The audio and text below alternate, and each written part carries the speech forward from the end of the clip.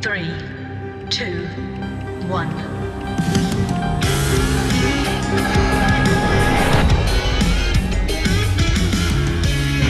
In fact, Ernest Holmes wrote True freedom, true liberty has something cosmic behind it. It's not just a man made thing.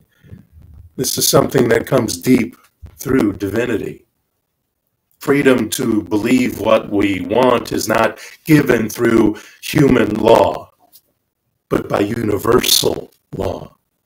Freedom to speak what we feel is not given to us by a human source or some piece of paper signed by a bunch of men 200 and something years ago, but by the source and substance of all, by that divine presence, that divine intelligence.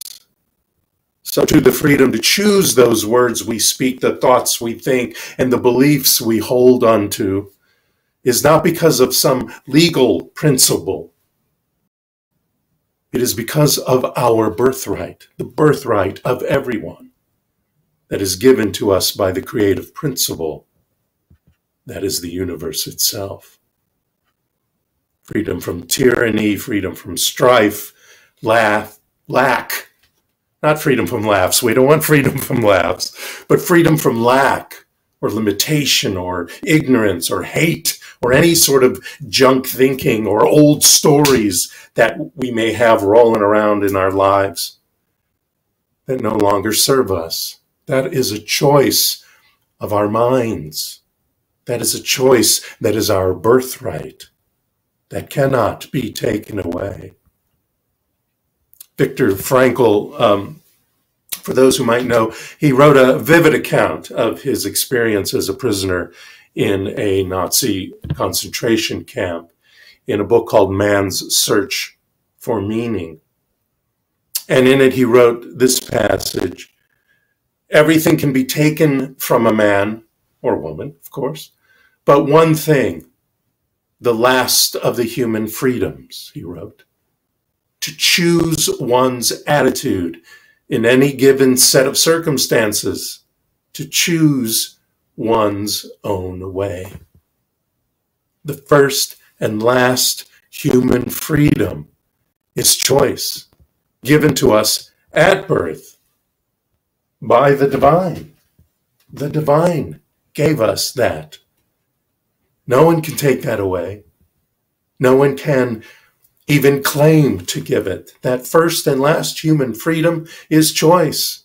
Choice to have independence from the control of others, choice to be independent of the ideas that hurting or taking from others is okay. Independent from the ideas of suffering for something equals a greater worth of that, of that something. Just because you suffer to put into your life um, a good that is in your life doesn't make it any better. There is no need to suffer to bring forth into your life, to manifest into your life your good, whatever that good looks like, whether it's in your health, in your pocketbook, in your love life, or relationships at work, or creativity, whatever it is, peace of mind. No suffering has to happen. We are independent from that naturally, and we can choose to continue to be independent from that. Liberty and justice is something handed down from the universe, not by some supreme being that doles out good or bad experiences like a Santa Claus figure. That's not how it works, but by a universal law that reflects back into our lives, into our experiences, that which is equal to the belief of what we have in our in our subconscious our beliefs. And it's the beliefs of the one and the beliefs of the many that universal law reflects back into our experiences. That is the immutable law of the irrevocable principle of cause and effect. That cannot be revoked. That is the way the universe works. And the use of the unifying law that we each individualize is the unifying law that frees us and that we are free to use for our liberty, for our justice, for our health, for our happiness and prosperity. That is possibly the greatest lesson that each of us has to learn or relearn. As Dr. Holmes spoke on this day in 1947 at the Wiltern Theater in Los Angeles, he said, If our nature is one, if God is one, and we know that God must be one, for the universe cannot be divided against itself, then we are all tied into an indivisible unity. We are tied into an indivisible unity. He continued with, We shall have to get back to this unity to find the meaning of freedom. Nothing in any part of this cosmic whole could be considered freedom that would destroy the liberty of some other part of it. That would be self destruction, would it not? I love that. I love that he ends this section of his talk that day, that day with that would be self-destruction, would it not? Considering that freedom destroys liberty. We can't destroy liberty because it is given to us by the universe. It is given to us by the divine, by God. He reminded us on this day, July 4th, in this country of the United States of America that it is more important we celebrate and honor our being part of the united individuals of the universe. Yes, we honor the idea of, of, the, of the USA and the democratic ideals of this country and other countries similar. But it is more important that we are reminded on this day that we are part of the in, individual united group, the united individuals of the universe. An indivisible unity of shared origin, bound by good for good. Bound by good for good. Our pledge is not to a nation my friends, but to a, a shared energy of origin called by many names. You can call it God, you can call it Spirit, you can call it Holy One, love, the thing itself. It's that stuff from which our physical bodies were made, which is the same stuff of which the planets were made, of which the minerals were made, the animals were made. Everything in this universe was made we are united as that, with that. So we declare our independence as a nation, as a people, but most importantly, as e pluribus unum, out of the many, one.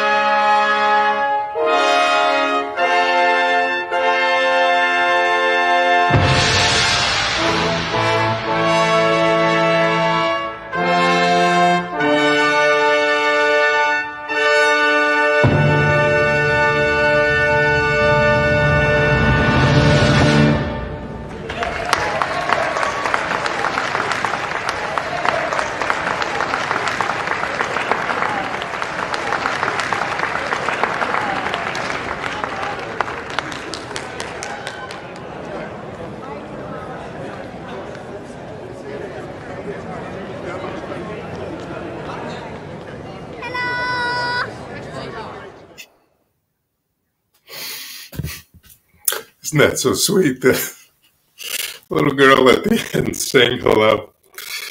Um, one of the most fabulous of um, our American composers, Aaron Copland, with the fanfare for the common man. And I, of course, love that they use that in the Olympics, but um, that that flash mob was uh, presented in the Dublin um, airport, Dublin, Ireland, where so much um, violence and uh, work for liberty has ensued and continues in their independence. And it just represents what we commonly as humankind um, are working for. And that is not only the independence as nations and as a peoples, but our independence and our freedom that is our birthright. Love that. So, as is my tradition on the 4th of July or the Sunday closest to the 4th of July, I want to give you what I call the New Thought Declaration of Independence.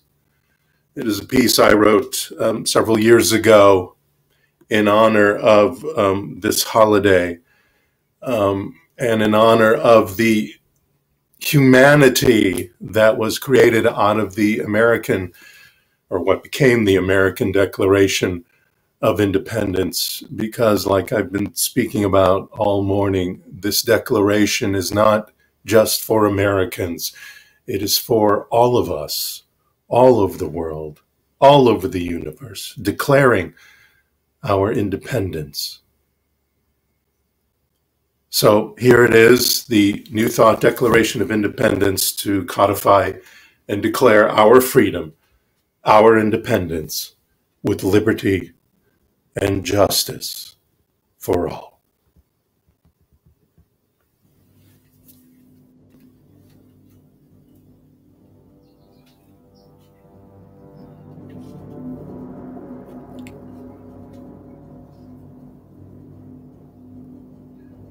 When in the course of human events, it becomes necessary for one person to dissolve the hands, the bonds and bands of struggle, strife, lack, and faithlessness, which has connected them with a life that does not serve their greatest good, and to assume among the power of the universe the station of prosperity to which the laws of nature entitle them. A decent respect to the opinion of one who speaks in truth requires that they should declare the causes which impel them to this separation.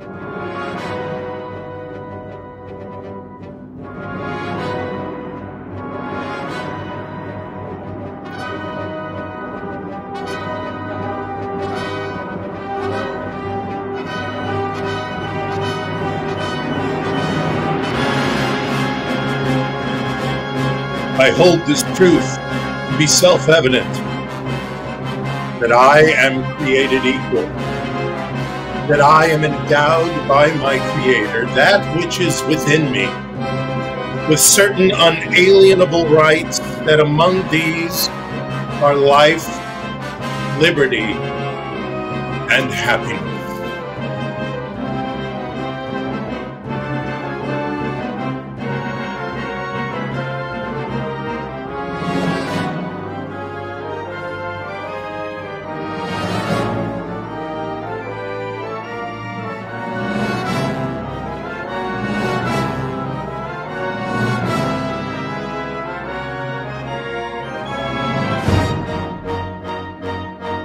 Secure these rights in my life, beliefs shall be instituted by me, deriving their just powers from divine consent of the great intelligence, my mind, and the law of cause and effect.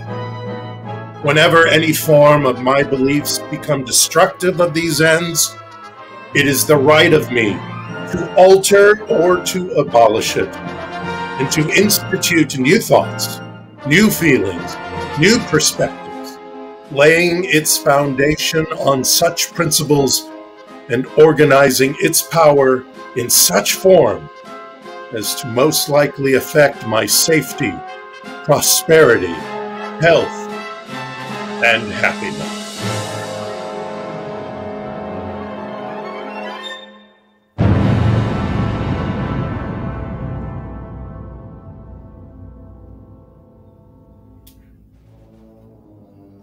Prudence indeed dictates that beliefs long established should not be changed for light and transient causes, and accordingly, all experience has shown that many times I am more disposed to suffer while evils are sufferable than to right myself by abolishing the beliefs to which I am accustomed that brought on the suffering when a long train of abuses and usurpations of my good reveals a design to reduce me to absolute or partial lack.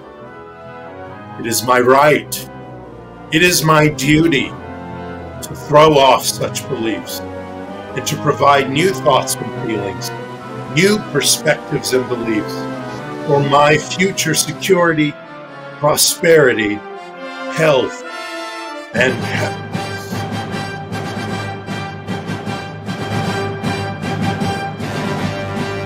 Such has been my patient sufferance, and such is now the necessity which constrains me to alter my thinking and my beliefs from the history of repeated injuries and usurpations, all having a part of the establishment an absolute tyranny over my happiness.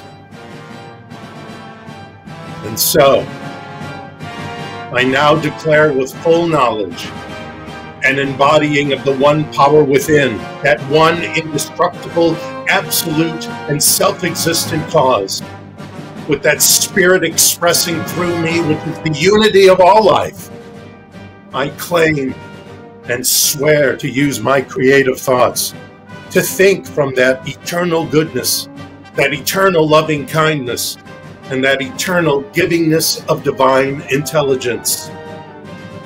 To act, be, and surround myself with love, abundance, vitality, and vibrancy.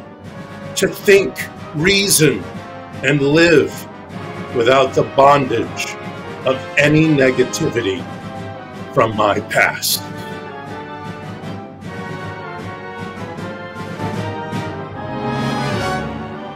And so too, without the consciousness of no, or the shoulda, woulda, coulda of not yet, without fear of the future I will create, and without any water cooler gossip or the news and opinions of CNN, MSNBC, Fox News, NPR, or any government or religion that may be running around in my mind like a rat in a cage, like squirrels in a whirling dervish, like chattering monkeys invading my consciousness.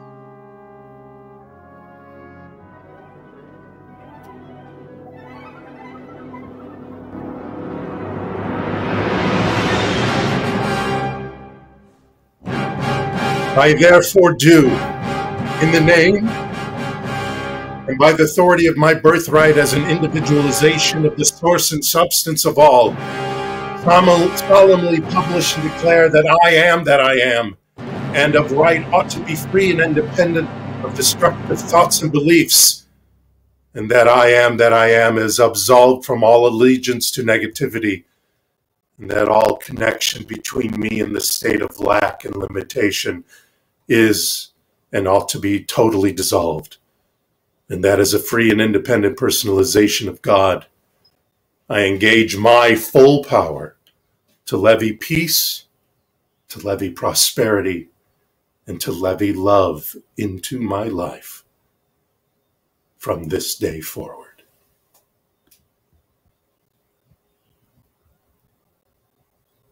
and for the support of this declaration with a firm reliance on the protection and power of the divine intelligence within let us all declare and pledge to our lives and our sacred honor. This Declaration of Independence. And if you would, as I do when I do this live, if you would take your finger and just sign your name into the air. Put a little flourish. you have now declared your independence from lack, from strife, from limitation, from anything, from any idea, anyone that makes you feel like you have no freedom, that makes you feel like you are not independent, that makes you feel like you do not have liberty of choice for no one and nothing can take that away except you. And when you vibrate at the speed of the divine, when you allow yourself to reveal that the divinity that is within you, when you take action, not only through your imagination and feelings, but through your body, when you walk that talk, as they say, you bust through, soar, and zoom to your greatest good, whatever that looks like. That is what this day is about. That is what this holiday reminds us of, not only here in the United States, but all over the world, all over the universe. So now I'd like you to join me in our affirmative incantation for the week. And let us know this together. And Steve's going to pop up the the affirmative affirmation for the week, and you can read it with me, or you can just close your eyes as if you are in meditation or prayer and listen and know these words that I ask you to read or to yourself or aloud every morning and every evening before you go to sleep this entire week. Knowing this, Freedom is not a question. Freedom is an answer. I answer, why can I have prosperity in my life? With, because I am free. I answer, why will I have vitality and vibrancy in my body? With, because I am unbound. I answer, Why will I have love, kindness, and respect in my life? With, Because I have freedom. I have the freedom to choose my thoughts, choose my beliefs, and choose my actions. And today I choose to have the feelings and imagination to support my prosperity, health, and love with powerful, full bodied, full hearted, clear, and fearless actions. Oh, say, I can see by the dawn's early light. My gifts and talents manifesting into fabulous experiences. Breathe that into your body, into your mind, into your beliefs, into your subconscious here and now. and let it out. We let it out knowing that as we release it, it not only embodies our mind and this physical being that we are in at this time, but it embodies our life surrounding us and the lives of others. We share this knowing, we share this knowledge, we share this belief with gratitude and appreciation. We know together we live together in peace, love, joy, liberty, justice. All of us. As together we say, and so it is. Namaste.